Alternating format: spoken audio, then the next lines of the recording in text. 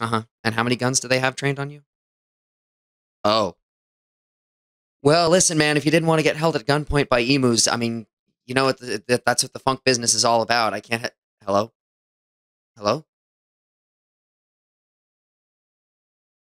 Hi, Doug from Raspberry Pie here. Don't mind me, just wrapping up an international uh, business call there. Anyway, I'm here today to tell you that we have brand new super sexy calendars for 2022. That's right, our ever popular super sexy calendar is back. This is a full 12 month calendar with custom dates and fun photos. Uh, you should be seeing some of those on your screen right now. And actually, as of the recording of this video, we're running a special on these. You can get one of these for just $14 if you click the link down below in the description box. I'm also very excited to announce that for the first time ever, we have Raspberry Pie hoodies. That's right, the Raspberry Pie Disco Ball hoodie is now available uh, via our Shopify page in small, medium, large, XL, and double XL. But again, much like the calendars, we have a very limited number of these.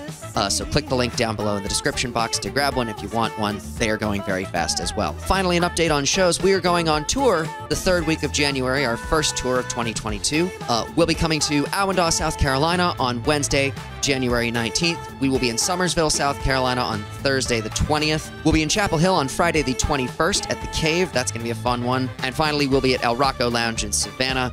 Uh, on Saturday, January 22nd. So if you live in or around any of those areas that I just mentioned, uh, come on out. It's going to be a good time. Uh, it's going to be the rhythm section plus Mariah, so we're going to have horns on the road for the first time. It's going to be very fun. So in summation, we have 2022 Raspberry Pie Super Sexy calendars for sale. We also have Disco Ball hoodies for the first time ever. And finally, we are going on tour the third week of January. For all that information and so much more, click the link in our description. And uh, until next time, stay safe, stay groovy, and we'll see you real soon. Bye!